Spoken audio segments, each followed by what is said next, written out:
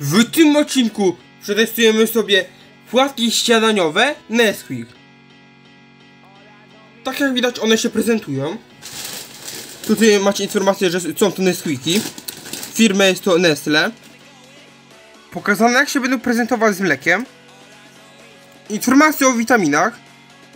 Gramatury jest to 250 gram. Skład produktu. Wartość odżywczą. Informacje jak je porcjować. Kod kreskowy. Informacje, że produkt się przetwarza i że po zjedzeniu powinien się tą folię wyrzucić. I datę końca świata. Więc teraz możemy przychodzić do otworzenia produktu.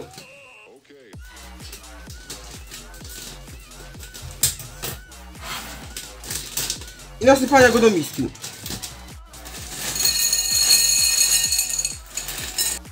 Teraz możemy zalać się mlekiem.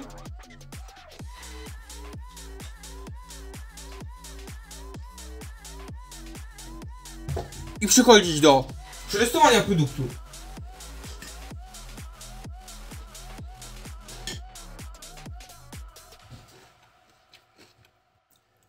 Powiem tak, są smaczne, yy, chrupiące dosyć. Mam taki kakaowy posmak, bardziej niż czekoladowy.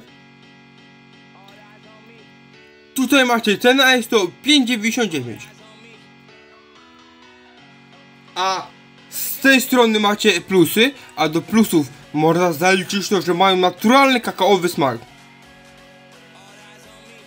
Natomiast tutaj macie minusy, a do minusów można zaliczyć to, że za szybko miękną w mleku.